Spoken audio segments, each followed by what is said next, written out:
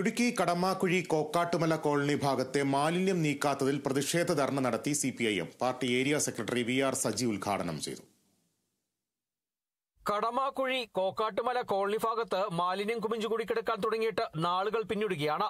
മാലിന്യം ഇവിടെ നിന്ന് നീക്കുന്നതിനോ സംസ്കരിക്കുന്നതിനോ നഗരസഭ യാതൊരു നടപടിയും സ്വീകരിച്ചിട്ടില്ല.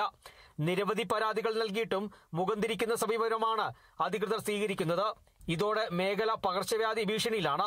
വിഷയത്തിൽ തോട്ടം മേഖലയിലെ ജനങ്ങളോട് കാണിക്കുന്ന അവഗണനയ്ക്കെതിരെയും മാലിന്യം അടിയന്തരമായി ഇവിടെ നിന്ന് നീക്കണമെന്നും ആവശ്യപ്പെട്ടുമാണ് C P I M Kadamakuzhi branch കമ്മിറ്റിയുടെ നേതൃത്വത്തിൽ പ്രതിഷേധ പരിപാടി സംഘടിപ്പിച്ചത്.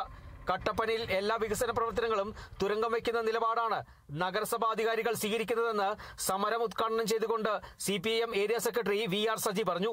വഴിയുടെ വികസനത്തിന് എന്ത് വേണം? വഴിയിലെ പുറംപോക്ക് മാറി കൊടുക്കണം ആശുപത്രിയുടെ വികസനത്തിന് ആദ്യം എന്താ വേണ്ടത്? ആശുപത്രിയുടെ വികസനത്തിന് വേണ്ടത് അടിയന്തര പ്രാധാന്യത്തോടെ വേണ്ടത് ഒന്നാമത്തെ കാര്യം സ്ഥലമാണ് ഭൂമിയാണ്.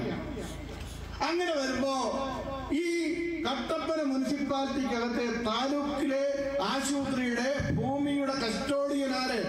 മുനിസിപ്പാലിറ്റിയാണ്.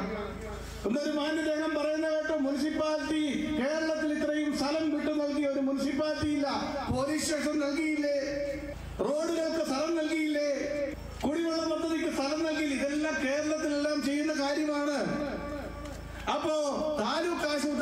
പതിനാറ് കോടി രൂപയുടെ കിഫ്ബിയുടെ പ്രോജക്റ്റ് അനുവദിച്ച് കിടക്കുകയാണ് അതാണ് ഈ ഞാൻ ഈ പറയുന്ന സാധാരണക്കാർക്ക് എല്ലാം വേണ്ടിയാണ്.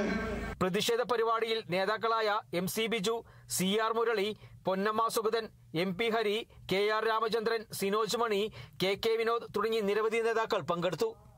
Kerala vision news Idukki.